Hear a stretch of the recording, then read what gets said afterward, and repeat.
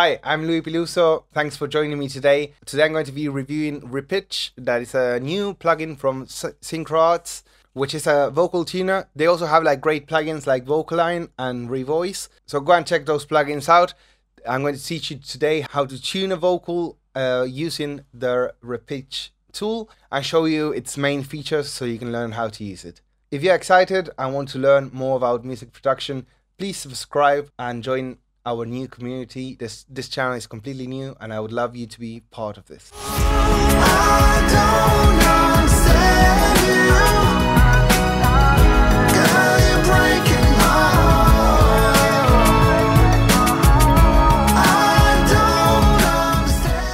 So the first thing we want to do is to open the plugin. So we're going to put search, repitch, mono, perfect. And something that I really like is that the plugin window is resizable. And that's something that every plugin should have. So this is a vocal tuner. And the cool thing is that it will guess what key the song is in. And it will probably guess wrong this time because we are working on the harmony and not the main vocal. I'm going to choose now the preset called Snap All Notes to Center. That will make it very easy to use this plugin and I'm going to teach you how to use it. So first we have to just select what we want to tune and press ah, capture for it to read whatever we want to tune. And the voice is completely dry, it doesn't have anything. And like I predicted, it kind of got the key of the song wrong. It's not Hungarian, it's Lydian. And like I said before, because it's reading the harmony and not the lead vocal. So now I'm going to show you the main kind of controls for this kind of plugins. And it's similar to other ones. If we press Command and Option on Mac, uh, and Command is same as Control in, in Windows, this will allow you to zoom in to the screen and it's very easy to just go into a section and shift and command will allow us to drag. So now if we go into one of the, our notes, we can see that it's already kind of read the main pitch. So now we have hotspots. So if we grab the selector tool and we just click on a note, we have different hotspots. The one on top will allow us to modulate and get the note straight. And on the sides, we can actually stretch the notes which is a really cool feature. And if we press option and and we click on the sides, we can actually tilt the note and make like a kind of slide up or slide down. And we can actually do this on the other side as well. So that's really cool. So now we're going to have a, a listen and correct some of the things that is automatically tuned. So this note has too much movement, so we're just going to grab the S and split the note. If we press the Q, we'll get the selector tool. And if we press D, we'll get the pencil. So I have two options. I can, with the Q, just modulate the note, or with the pencil, I can actually draw in the tuning. And this might sound a bit artificial.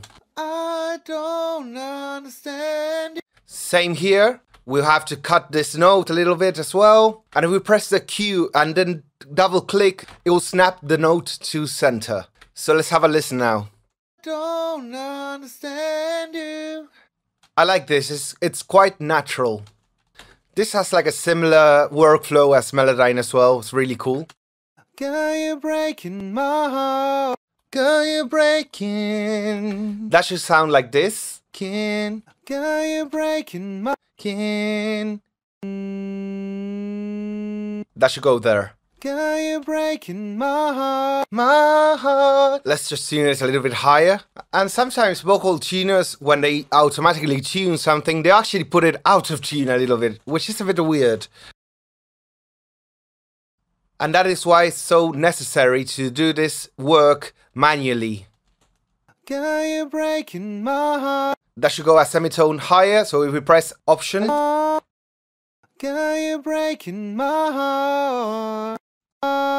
you're breaking my heart. Girl, you're breaking my heart. Great, the rest is fine because I only had to correct the first two phrases. So let's check out the two vocal harmonies. I don't understand you. If we listen to both vocal harmonies, we'll realize that they both start and end at different times. So we can actually use VocAlign and sync it to repitch to be able to use these two powerful tools.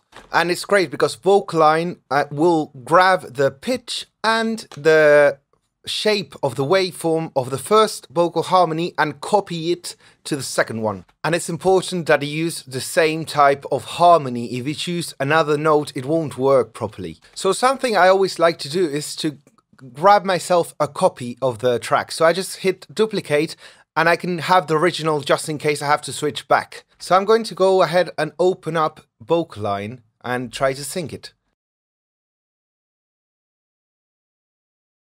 And if we click on this red square, we can actually leave all the plugins in the screen without them closing themselves. so now we're going to put one next to each other. And the way VocAlign works is that you have like the first line and the second one. The first one is to put in the guide and the second one is to put in the dub. So first of all, to be able to capture the guide, we are going to first go into our Repitch plugin and click on this button, select for VocAlign to capture, and once it's green, we can click on capture and it will say from Repitch. So now we have to click on the track below and hit capture. And now it will align both tracks with their pitch and their time. And we only have to hit render and that's it. And everything is corrected. So that's a really cool feature. I don't understand you. I don't understand you. I don't understand you. And inside of VocAlign, you can actually change lots of its features and presets and things to modify to make us happy. Thanks for watching. If you're interested in checking out other Magic plugins, click in this video.